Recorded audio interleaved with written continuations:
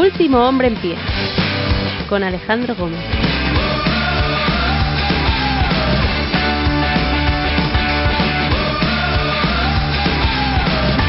Buenos días, buenas tardes, buenas noches, bienvenidos. Yo soy Alejandro Gómez, hoy es 2 de diciembre del año 2022 y este es el episodio 531 de Último Hombre en Pie, un podcast de lucha libre. Si os digo que vamos a hablar de muertes y fichajes, ¿cómo os quedáis? ¿no? El mundo de la lucha libre nunca me dejará de sorprender.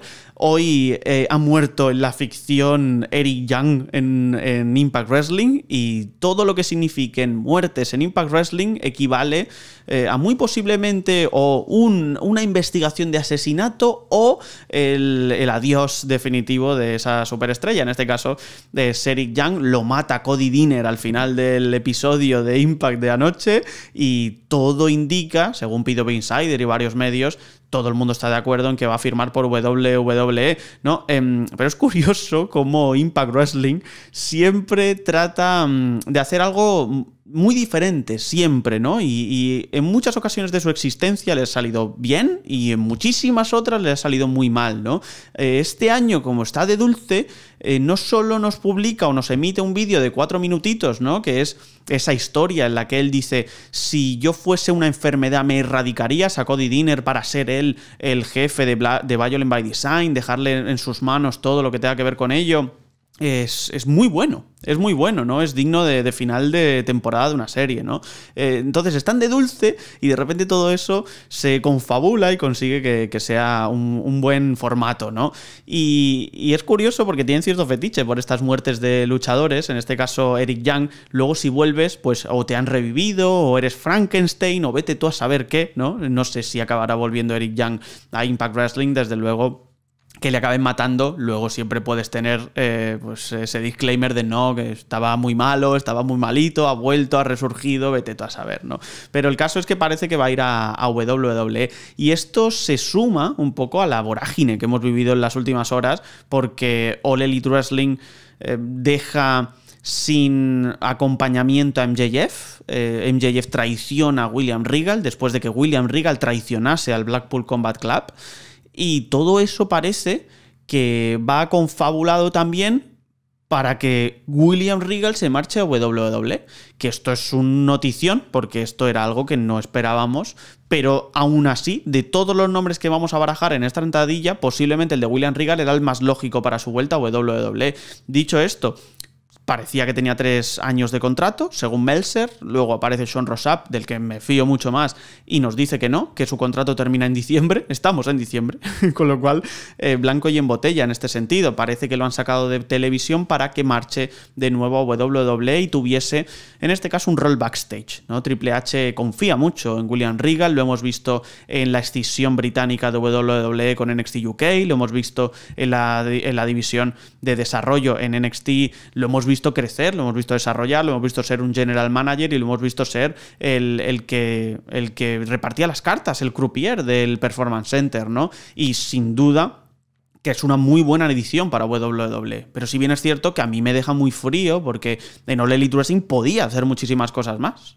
Es que en All Elite Wrestling recordemos que confeccionó el Blackpool Combat Club con esa llegada en Revolution, después de ese combate Mox, eh, Danielson y demás, y no solo eso, sino que le metió un hostiazo a Brian Danielson y a partir de ahí el reclutamiento increíble de Wheeler Utah para uno de los mejores combates del año, pasando por esas rivalidades que han tenido entre miembros del Blackpool Combat Club, muy, muy amistosas, en pos siempre del wrestling. Hemos tenido un, Blood and Guts, hemos tenido esta traición, ahora la unión con MJF que parecía interesante, y todo eso se ha ido un poco por, por el retrete, ¿no? Y es curioso cómo cambian en un segundo todas nuestras ideas preconcebidas en el mundo de la lucha libre, ¿no? Ahora Eric Young está muerto en Impact, William Regal parece que se va a ir a WWE. Y luego, además, Impact Wrestling también, además de darnos un combate de Bully Ray, además de, darnos un, buen enfrentamiento de Steve Macklin contra, contra Frankie Kazarian, resulta que nos da un main event Diona Purrazzo contra Mickey James en ese Last Rodeo, que ya sabéis que si pierde Mickey James se retira y lleva en esta tesitura varios meses y ahí continúa. De hecho, se enfrentará en Hard to Kill en, 2023 a inicios contra Jordan Grace por el título de las Knockouts. Pues bien, pierde Diona Purrazzo que venía a vengar a su amiga, su amiga Chelsea Green, que dijo el otro día que se marchaba a casa. Bueno, ¿y casa qué es? ¿Casa es WWE? Bien, eso se ha estado rumoreando, porque Matt Cardona también ha estado, al parecer, en los planes de WWE, que es su marido. Entonces, eh, Diona Purracho de repente pierde contra Mickey James en estas grabaciones, que se emiten anoche, y dice, Chelsea, ¿tienes hueco en tu casa? Uy, uy, uy, uy, uy, ¿no? ¿Qué está pasando, no? ¿Por qué tenemos todos, todos estos cambios repentinos, ¿no? Parecía que Diona Burracho iba a estar muchos años en Impact Wrestling porque era una de esas luchadoras franquicia y de repente también sabemos que se le acaba el contrato este diciembre. Entonces se nos queda un poco el, cuerpo extraño, ¿no? Porque All Elite Wrestling ha pedido una pieza para mí fundamental de cara a la construcción, cimentación del reinado de MJF, que es William Regal, y Impact Wrestling está a punto de perder a dos de sus luchadoras estrella, vamos a decir, ¿no? Quizá Chelsea Green no tanto, pero Diona Porracho, desde luego, estrella de la división Knockouts de Impact, una de las mejores para mí de, estos últimos meses. Y que no tengas a Porracho dos veces campeona, que incluso le diste la posibilidad de ser campeona de tu división y no la tenías contratada, sino que la, le pagabas por fechas, y aún así le diste la confianza y que ahora de repente parezca que todo se tambalea, ostras, a mí me, me, sorprende, sinceramente, me sorprende. Y también me sorprende ciertamente lo que está intentando hacer aquí Triple H, si es que quiere volver a recuperar un poco las, la, senda de la victoria con en el, en el NXT Black and Gold, o veremos qué narices quiere hacer. Desde luego, para mí, Chelsea Green no encajaría en, ahora mismo en el producto. Creo que Matt Cardona es un tío entretenido, pero tiene un gimmick de ser de WWE en las indies y por eso funciona tan bien como Hill, porque la gente lo, que, lo único que quiere es repudiar en las independientes. Tú vas a ver luchadores indies, no vas a ver un tío con una corona de príncipe como si fuese el Burger King diciendo que él viene de la WWE y que su ídolo es John Cena. No, en cambio, ese gimmick no lo puedes trasladar porque Matt Cardona no es un tío de las indies que vaya a WWE. ¿No? Matt Cardona se ha estado fogueando como Zack Ryder siempre bajo el mandato, bajo el ala primero de Edge y luego bajo el, ala de esa aura que tenía como el campeón de Internet, ¿no? Entonces, em, no encajarían, creo, a mi parecer que no encajarían. Diona Purrazzo no tuvo ninguna oportunidad en un NXT, recuerdo, regentado por el propio Triple H. Tampoco lo tuvo, la tuvo Chelsea Green. Cuando habían creado el VXT, ese equipo, no tuvieron ni un momento en televisión. Entonces, no sé exactamente de qué estamos hablando. Si bien es cierto que Diona Purrazzo ha mejorado lo que no está escrito en estos tiempos. Pero si es una visión centrista, digamos, de querer volver al 2017, pues los luchadores no son los mismos, las edades no son las mismas, y si nos vamos, por ejemplo, al caso de Eric Young, eh, quizá no volvemos a reformular Sanity, o quizá ahora con Nikki Cross, que vuelve a ser la loca, si quieres reformular Sanity, posiblemente no te salga,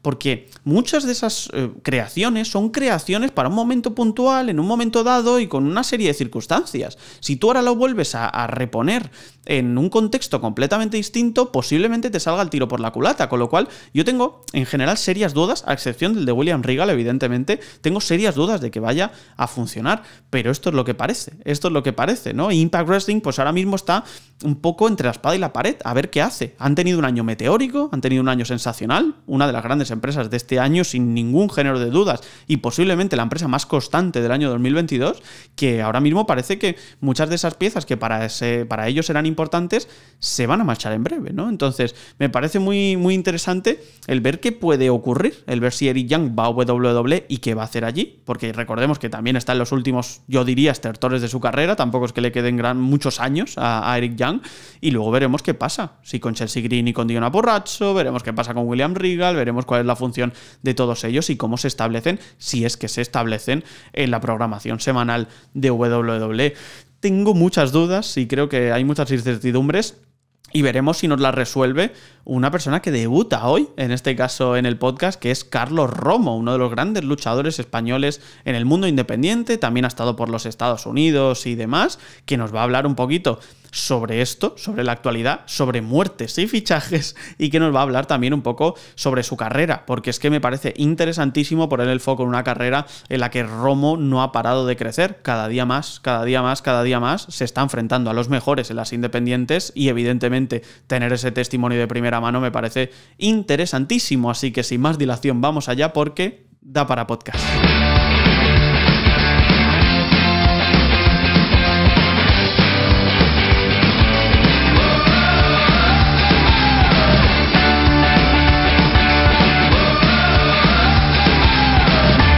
Hoy estoy contento, hoy tenemos debut, hoy tenemos debut en este caso el señor Carlos Romo, uno de esos grandes nombres españoles en la escena española de lucha libre. ¿Qué pasa, tío? ¿Cómo estás?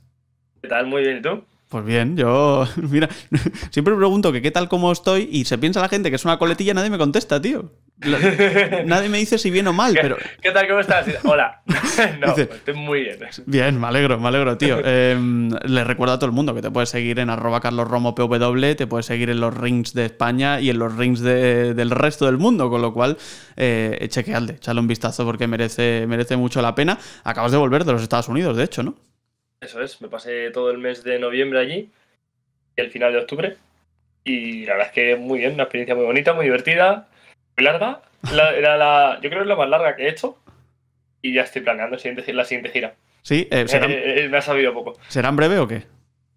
¿Eh? Sí, será en breve, digo. Será relativamente breve. O sea, no es ya, pero realmente prácticamente ya. O sea, me debería poner a prepararlo ya. Bien, bien, me gusta, me gusta lo que, lo que oigo, porque antes de irnos un poco con la actualidad, porque te, que te quiero preguntar por WWE o Leli, te quiero preguntar por varias cosas, ¿no? Pero em, hablando, hablando un poco de lo tuyo, porque, joder, es, interesante y es, noticia también, claro, al fin y al cabo, si hablamos del wrestling indie, tú estás ahí y eso es lo que hay.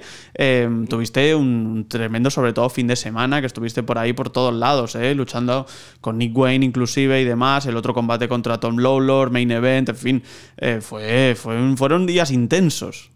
Sí, los dos últimos fines de semana fueron, fueron bastante serios. Los dos primeros em, fueron menos cargados a nivel de combates porque hice un Battle Royale en el Fest, que es un festival de música que también, tienen, también tiene una compañía de wrestling. Y el segundo hice Action contra Billy Starks, que aunque fue un combate chulo y me gustaba, sabía que hacer ese show que el promotor llevaba intentando conseguirme en las últimas giras significaba solo tener un combate ese fin de semana por tema de distancia. Entonces, bueno, fue algo que, decidí asumir.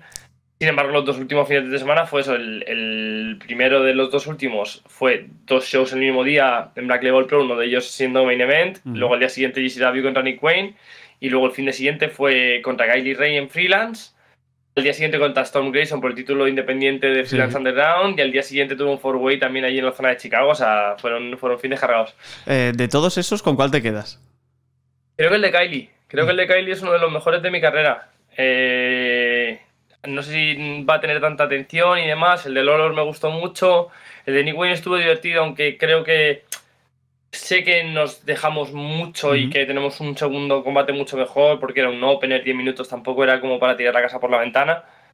Eh, pero creo que el de Kylie es uno de mis mejores combates de mi carrera, además también por lo que hace el público, la forma en la que lo planeamos, lo que hace el público, las emociones que se, ven, que se ven los dos, ella estaba súper emocionada de tener el combate conmigo, ilusionada, lo cual es algo que a mí me chocaba porque es una persona que tiene mucho nombre a nivel mundial y que para ella fuera como un orgullo y un motivo de estar nerviosa luchar conmigo es un gran halago hacia mí. Y luego cuando terminó el combate estaba casi llorando ya en el ring y luego cuando se puso a hablar conmigo igual, en plan estaba me dio un abrazo y como que intentó, además literalmente dijo, voy a intentar no llorar yo, yo no sé falta y, como que hablaba casi sin mirarme la cara, no sé. ¿Cómo, eh, ¿Cómo estaba? Fue muy bonito. ¿Cómo está Kaylee Ray? Porque es que, claro, con todos los problemas y demás eh, que ha tenido, particulares y demás, ¿cómo está? ¿Está bien? A ver, la realidad es que no lo sé. Mi impresión era de que sí, pero la realidad nunca lo sabes. Sí que es verdad que, por ejemplo, le comenté, Buah, tía, cuando estábamos planeando, me vi tu combate con Thunder Rosa, no sé qué, me dice, Buah, eso era en plan uno de los puntos más bajos de mi vida. Eh, sin embargo, claro, allí eso, ella simplemente ese día estaba súper nerviosa, súper emocionada y súper contenta. Entonces, y es eso, yo vi lo que significó ese combate para ella, por lo tanto, si ya de por sí me gustaba mucho por cómo fue el combate, por cómo funcionó y por las reacciones del público, si encima vi lo que significaba para ella, me valía aún más. Pero a nivel deal no sé cómo está. Mi sensación era que estaba bien, pero nunca sabes las capas que lleva. Desde luego, ¿no? Y sobre todo para aquel que no la ubique, eh, Kylie Ray, una de las primeras contrataciones de la historia de All Elite Wrestling, una luchadora que pues eh, por diversos motivos eh, personales ha tenido que apartarse del foco del mainstream, estuvo también en Impact Wrestling, ¿no? Y ella ha decidido pues eh, ir, ir, por otro camino, ¿no? Que es completamente lícito y sobre todo si se siente cómoda consigo misma, mm, sobre todo a nivel personal, pues, pues mejor que mejor, ¿no? Así que me alegro en ese sentido que haya, que haya ido bien. ya, ya, que te, ya que estás aquí, Nick Wayne, ¿cómo lo viste? Porque es una de las grandes estrellas del futuro, es uno de esos chavales que dices, este va a llegar lejos, ya firmado por All Elite Wrestling, ¿cómo lo vista Wayne? Le vi muy bien. Eh, a Nick Wayne tuve la suerte de conocerle en la anterior gira que hice en diciembre en Estados Unidos. Em, coincidimos en los shows de Defy de Without a Cause, que encima en Without a Cause luchó con Alex Shelley, que obviamente fue un combatazo. También es verdad que luche quien luche con Alex Shelley es difícil que sea un mal combate.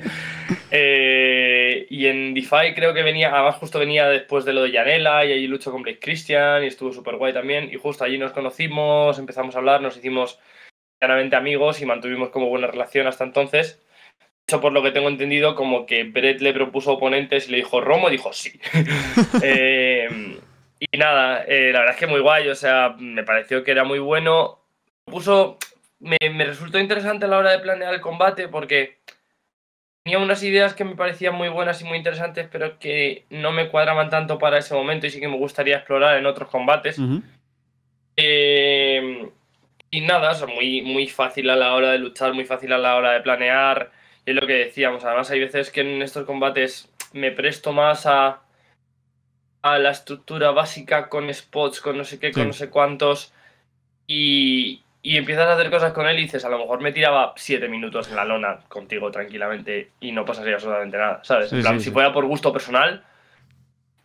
No, no. Muy cómodo, muy, muy, muy amable. El chico es un cielo, o sea estamos preparando un, un videoblog de OBT con cosas de los viajes y él sale en un pequeño trocito y es eso, o sea, el chaval, aparte de ser muy educado y ser un niño en plan como súper educado, el tío es muy bueno y, y, mola que, que, esté tan con los pies en la tierra. No, no, se nota, de hecho, yo, yo, por lo menos tengo uno de los mejores combates, no sé si en top 10, pero vamos, cerca ese Will Ospreay contra Nick Wayne que tuvimos en GCW, que es un combatazo este, este año espectacular.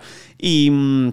Y me alegra, me alegra, oye, que, sigas eh, sobre todo yendo por ahí, porque, tío, es que em, parece que no, pero, pero si vas abriendo camino, oye, eh, pues eso, eso que te lleva, luego, y luego nunca se sabe, evidentemente, luego no sabes qué va a pasar, pero oye, estar por ahí ya es una grata, una grata noticia, creo yo.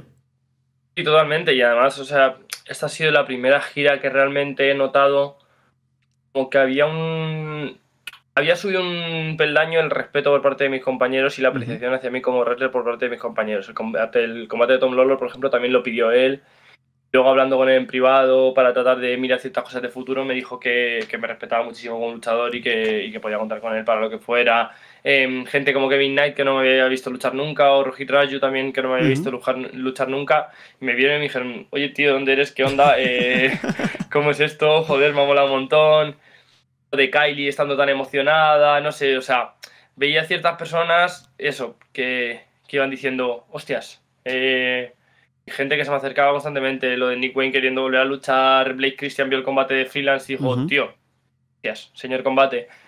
Ya nos conocíamos y demás, pero además he notado como que los dos hemos dado un saltito para arriba. Eh, de la última gira también de diciembre que le vi a esta, les he visto a él y a, Jordan Oliver en plan mucho mejor de lo que estaban y no eran malos precisamente. No, no, al revés, no. Lo que pasa es que Blake Christian sí que es verdad que me dio la sensación de que tuvo un paso de regresión desde de su vuelta en WWE, como que no era el chico grande de las indies que podía llegar a ser un, ídolo y a mí Jordan Oliver siempre me ha dado la sensación de que es un luchador que tiene un potencial tremendo que no lo explota al 100%.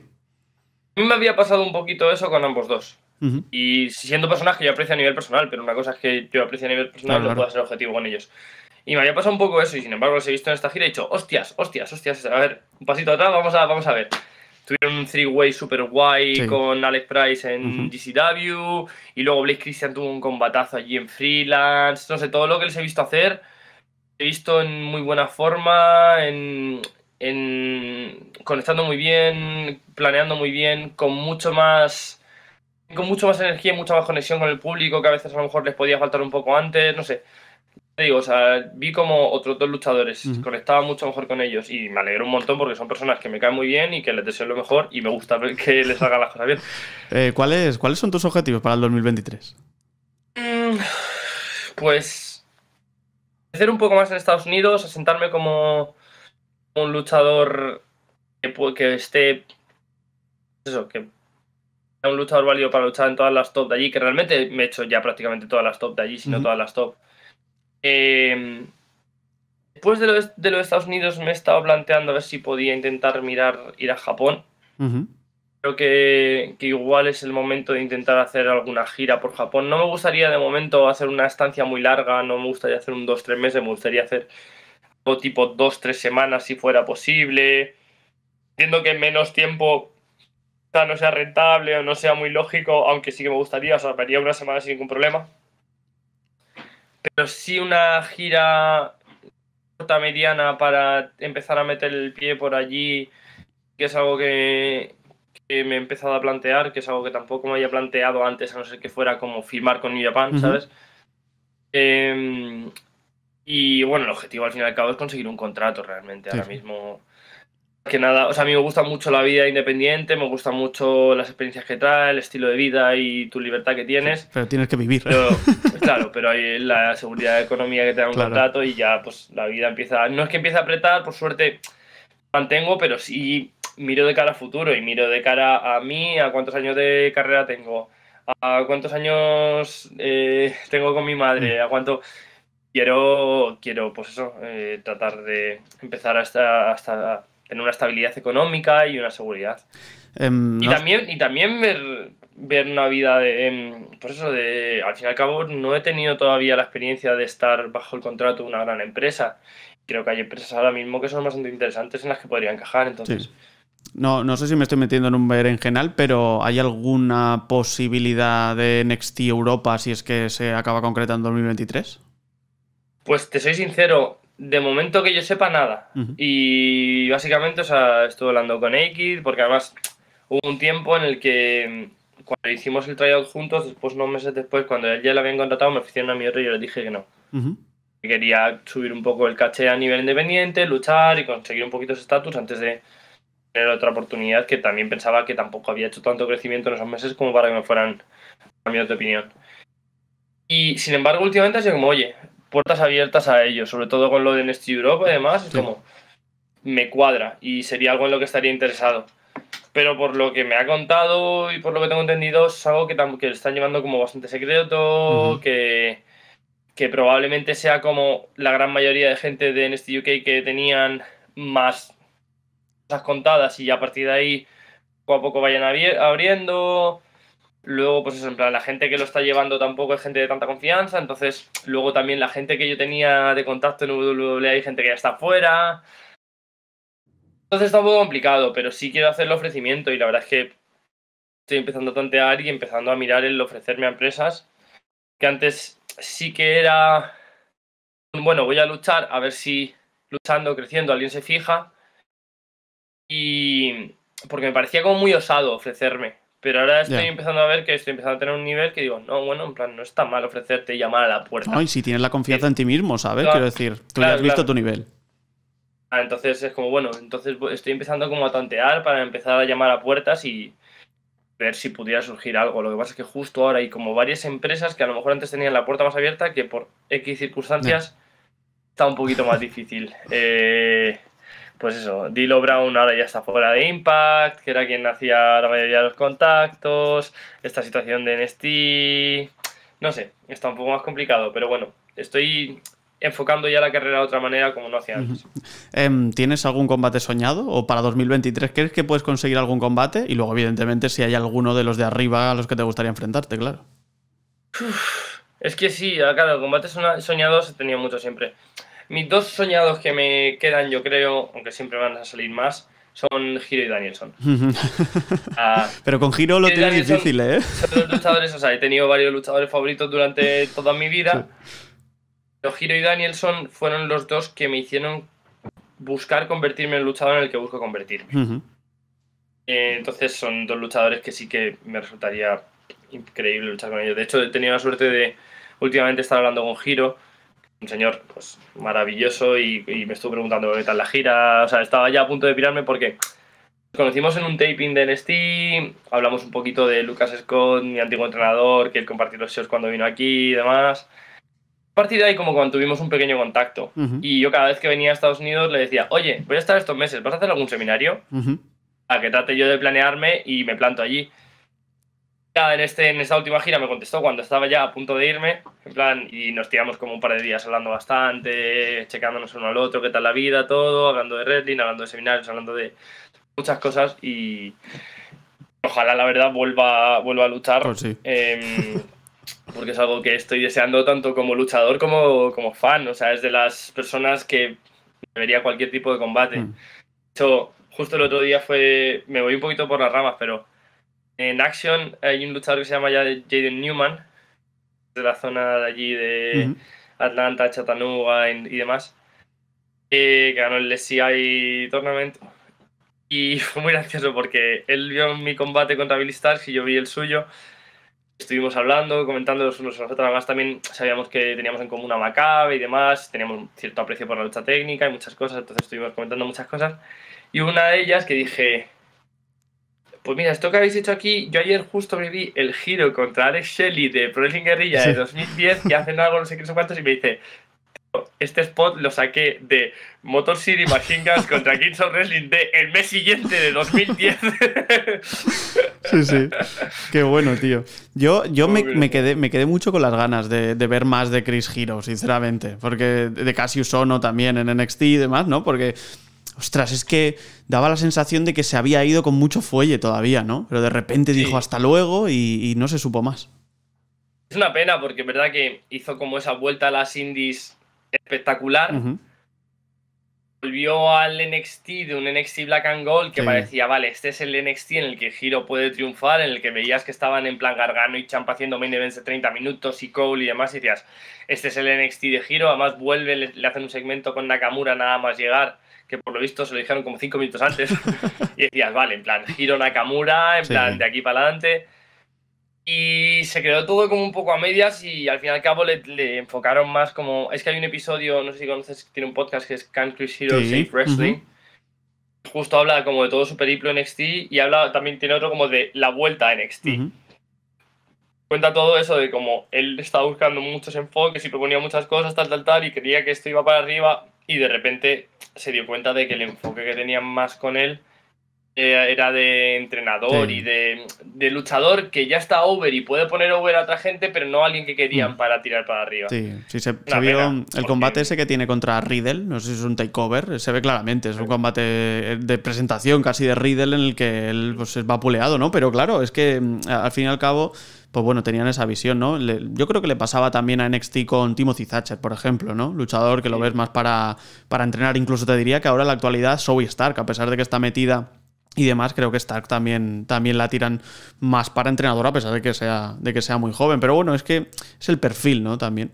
En este, en este caso, no lo sé. Eh, a mí me da pena, ¿eh? Porque me hubiese gustado verlo ahí. La- creo que tenía, tenía todo para triunfar. Y sobre todo me da pena porque eh, lo que temo es que ya empieza a tener una edad. Ujú. No sé cuándo vuelva a luchar, porque entiendo que va a volver a luchar, porque es lo que da a entender por sus redes sociales. No es algo que haya hablado con él, ¿eh? no me ha dicho en ningún momento, ni le he preguntado ni nada. Pero me da pen- o sea, me da miedo el cómo va a volver o el cuántos años buenos de carrera le empieza, Ya. le, que- le quedan ya hasta que empieza a llegar el declive. Ujú. Y esos años, como creo que fue 2017 o algo Sí. así, 2018, cuando volvió a firmar, vamos a 2022. Cinco años de giro increíbles que nos hemos perdido. O sea, es, eso, es lo que me, eso es lo que más miedo me da. el- los años increíbles que nos hemos perdido y los que queden buenos. Ya. Y entonces es como, por favor, vuelvo a luchar ya cuanto antes. En plan, Por favor, no, sí, yo, yo, yo tengo esas pinitas, sinceramente. Pero, pero bueno, es lo que hay. Si él quiere volver, pues tiene. Yo creo que tiene las puertas abiertas en cualquier sitio, porque es un talentazo increíble. Yo creo que simplemente, o sea, y de nuevo, o sea, nada de lo que estoy diciendo es cosas, son todo suposiciones mías. Yo creo que está esperando al sitio, el momento, el lugar, y porque obviamente sigue involucrado con el wrestling, sigue comentando, sigue hablando, sigue haciendo podcast, sigue que está ahí, pero yo creo que estará buscando el momento, el lugar, la situación, algo que le convenza, que le encaje con la vida. Sí, no, no, no es fácil. eh, también siempre nosotros saltamos muchas veces y, y asumimos cosas que luego por detrás. Y eso pasa aquí y en, y en un montón de sitios más. Dicho, dicho esto, te voy a llevar ya a la, a la actualidad un poco de la, de la lucha libre. Porque, mm, bueno, es que anoche, eh, entre la entradilla y demás, ¿no? Vimos a un muerto que es eh, Eric Young, que lo, lo mata Cody Dinner en Impact. parece que se va a WWE. Chelsea Green dice que vuelve a casa. Yo no sé si su casa es WWE. Diona Purracho le dice que si tiene hueco en esa casa para ella. Pierde anoche contra Mickey James en ese la rodeo. Eh, pff, ostras, eh, William Regal eh, traicionado por MJF y parece que se va a WWE. Pues Triple H ha cogido, no sé si la billetera, pero vamos, está en proceso de reclutamiento de nuevo. Pero bueno, o sea, lo de Triple H realmente es algo que se ha visto desde que ha cogido los mandos. Sí, sí. O sea, no es algo. Lo que pasa es que ahora se han juntado como cuatro cosas seguidas, juntas en distintas promociones y en distintas formas. Es algo que se ha visto desde, desde el principio, cómo ha ido trayendo gente de vuelta que para él eran proyectos importantes. Cuando Vince tomó mando del todo, cuando se cambió de Black and Gold a 2.0, se fueron, tuvieron que buscar la puerta de salida Sí, sí. ha visto cómo ya ha ido trayendo gente de vuelta y, y esto creo que es simplemente más en ese mismo camino. O sea, lo que pasa es eso, que es un poco shocking que vaya todo de vuelta. Lo de Rigal es lo que menos me sorprende. Sí. Ah, por supuesto, era, pues, es- no, no sé si mano derecha, pero vamos, o sea, una persona de un puesto y un cargo y una confianza enorme que cuando salió WWE todo el mundo se quedó absolutamente loco. Sí. Entonces entiendo que él quiera hacer que vuelva. Ahí ya está, pues ¿cuánto ha firmado él? ¿Cuánta lealtad o cuántas ganas tiene de WWE o cuánto, cuánto de acostumbrado estaba a sus procesos que quería volver a eso, lo que sea? Entiendo de si es algo que pase, que todavía todo esto son suposiciones que estamos dando por hecho, que entiendo que puede pasar, pero pero que siguen siendo suposiciones. Em, lo de Eric Young y Diona y Chelsea Green, pues yo también lo entiendo, sinceramente. O sea, Impact están bien, pero entiendo que el pago en WWE tiene que ser mucho mayor, por mucho que ahora hayan conseguido el acuerdo de Dazón. Y Young igual ya empieza a entrar en edades avanzadas, entonces seguro que viendo lo grande que es WWE como empresa, intenta buscar un luchador que trate de transicionar a puestos de backstage. eh, ellas sabiendo todas las oportunidades. Es verdad que el, que el roster de knockouts y Sí. la edición femenina de Impact es muy buena y está muy guay. Claro, la plataforma que tienen allí, pues es eso. Si es que es comprensible. Sí, a mí, a mí lo, único que me, me pasa aquí al respecto de todo ello es que yo veo a Triple H y digo, vale, eh, Triple H es, eh, pues bueno, es la viuda del Black and Gold, ¿no? Porque él ha querido hacer, eh, recuperar ese Black and Gold. Pero me da la sensación de que no tiene en cuenta que han pasado 4 o 5 años. 3, 4 o 5 años. Y que si quieres traer de vuelta gente como Eric Young o si quieres rehacer de nuevo Sanity porque vuelves a llevar a Nikki Cross a ese personaje oscuro y demás, si por algún casual la quieres reformular, hostia, han pasado años suficientes como para que quizá eso no funcione, ¿no? A lo mejor tendrías que buscar cosas nuevas. Yo es que no creo que esté buscando reformar exactamente las cosas que estaban antes. Creo que simplemente es el enfoque a nivel de talento, de lucha, de show.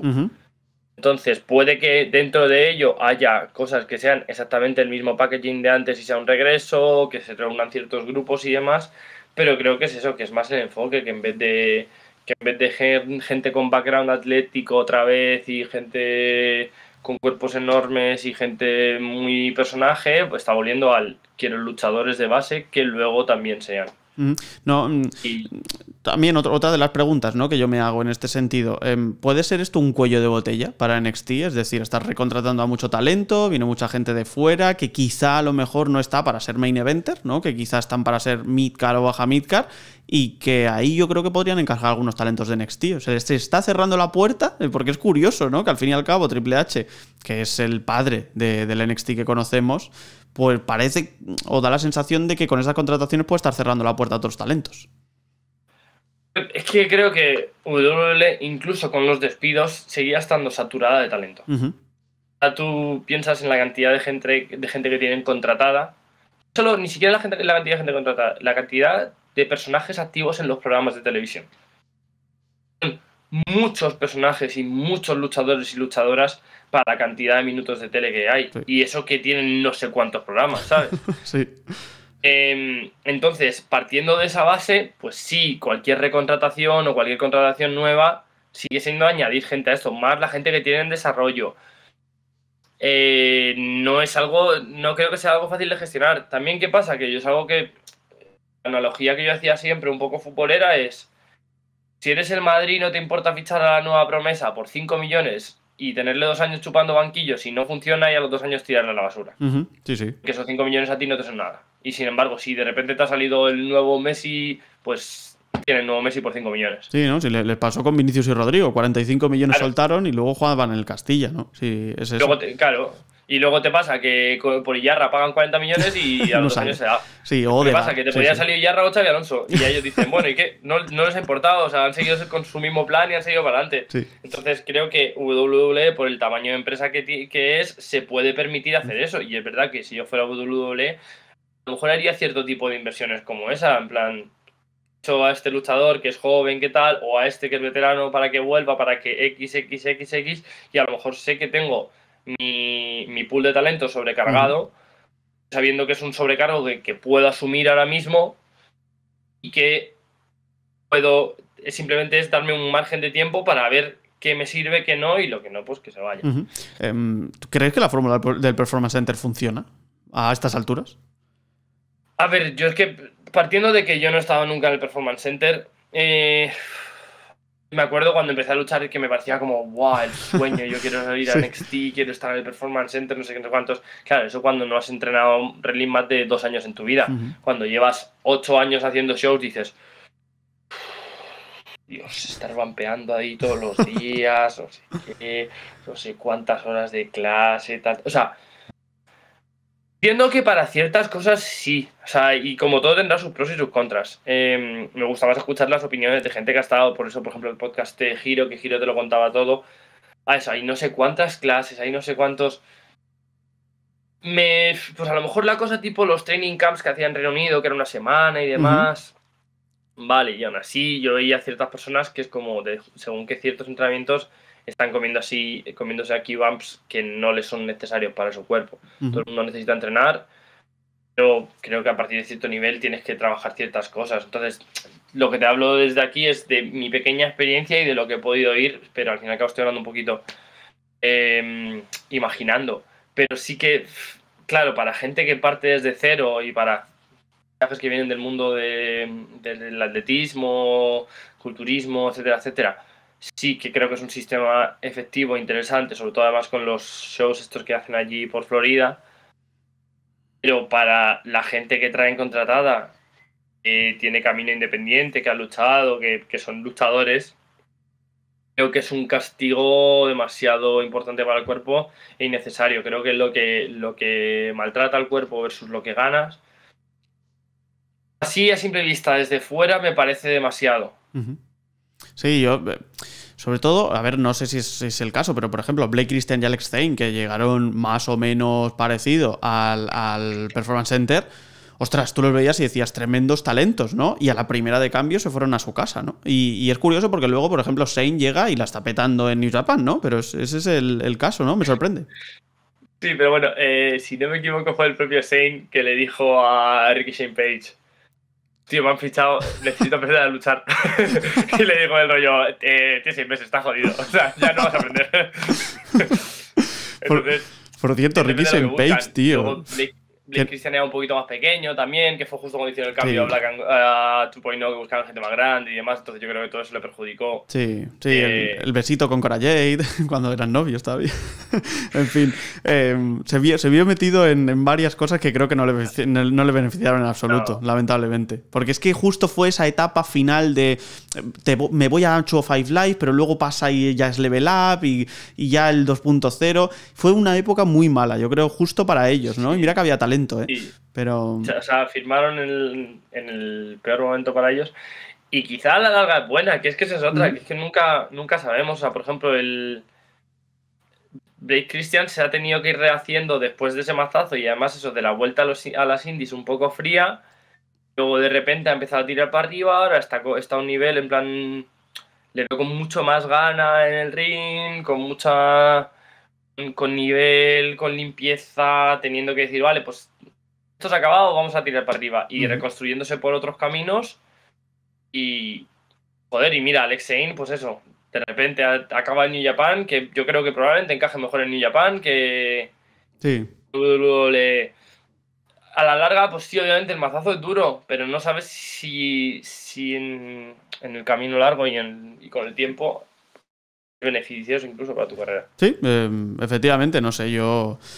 Em, es que es muy difícil, es muy complicado, tío, porque tienes que tomar una decisión y luego vete tú a saber, ¿sabes? Y a lo mejor quieren otra cosa completamente diferente, o a lo mejor coges y de repente, ah, no, pues quiero este tipo de talentos, que es, es muy difícil. Es, es muy. Nunca sabes, nunca sabes, porque eso, o sea, eh, el tiempo, el lugar, quién está en mando, Claro. pues eso, firma. Si de repente eh, cambian el estilo de la marca, se cargan a Riga, no sé, no sé cuántos, o al revés, o te traen a no sé quién, no sé cuántos, imagínate que eres en plan un culturista que ha firmado en. en la época esta de los colores. Sí, En 2.0, perdona. Y, y de repente llega Ole Triple H y dice, no, Black and Gold, tráeme a ¿sabes? no sé qué, no sé cuánto. Y se me dice, oye, pero si no es hacer un Rislock. Sí, claro, no, sé hacer, no sé hacer nada. o sea. Que para todo hay un tiempo, un momento, luego Sí. en plan el panorama, de repente, pues a lo mejor imagínate eso, eh, que a Ole se le libera no sé cuánta gente, o que, pues eso, tiene a Ring of Honor, o que New Japan abre Japan of America. Es que hay Mm. tantas cosas que no puedes prever, eh, pues tomas una decisión según tu momento, tu situación vital, económica, de wrestling personal, y a partir de ahí, pues, pues puede salir bien o puede salir mal, y solo tienes un cierto punto de mm, eh, parte que puedes controlar. Sí, Hay una sí, parte sí. variable que, que es que sale. Efectivamente. Oye, pues, pues un placer tenerte, tenerte por aquí por primera vez. Espero que no, no sea la última. Y nada, encantado y espero, tío, que te vaya, que te vaya muy bien en lo que hagas. Muchísimas gracias, muchísimas gracias por tenerme, un placer muy grande.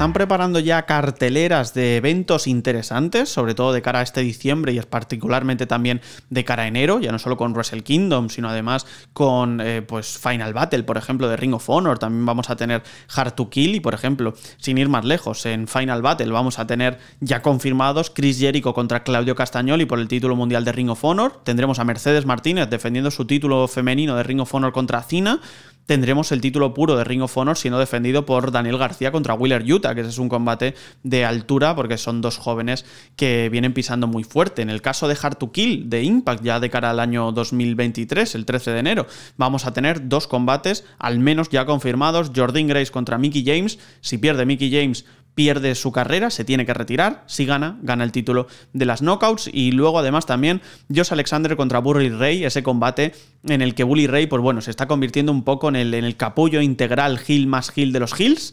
Y ya está, ¿no? Sin más, quiero decir, no, no, no te aporta absolutamente nada en el cuadrilátero, pero sí que es verdad que, bueno, ese hit lo tiene. Además, también curioso, porque Dave Meltzer estuvo hablando el otro día sobre los rumores sobre WrestleMania 39, que se tiene que terminar o por lo menos dejar lista la cartelera aproximadamente a mediados de enero, cosa que no me creo. Además de Dave Meltzer, hay que cogerlo todo con pinzas y más con WWE.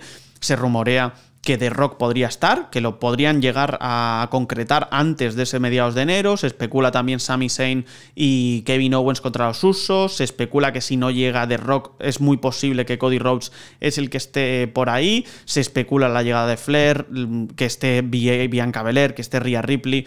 En fin, hay varias, hay varias cosas interesantes. Como también creo que es muy interesante eh, suscribirse al podcast a partir de 1,49 al mes en iBox, especialmente para escuchar el episodio que vamos a publicar mañana mismo. Sí, vamos a publicar ya el primer top del año 2022, top 10 luchadores revelación del año 2022 en el mundo de la lucha libre. ¿Qué nombres estarán ahí? ¿Qué nombres han llegado y han pisado fuerte en este año 2022? Lo vamos a comentar todo mañana mismo. ¿Cómo puedes escuchar ese episodio? Muy sencillo, suscribiéndote en iBox a partir de 1,49 al mes o en Spotify y YouTube a partir de 1,99. Ya sabéis que eso nos ayuda a caminar, que podéis escuchar todos los episodios que vayamos publicando cada sábado, todos los que hemos publicado previamente y además acceder a un Discord exclusivo. Así que ahí os espero para empezar los tops de final de año.